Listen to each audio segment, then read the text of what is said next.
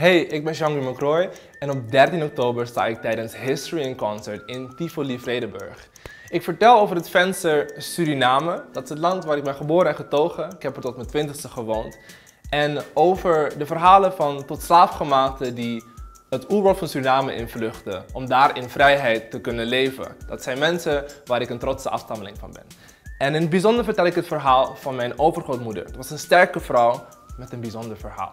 En als je het verhaal wil horen, dan moet je gewoon je kaartje kopen en dan zie ik je op 13 oktober in Tivoli.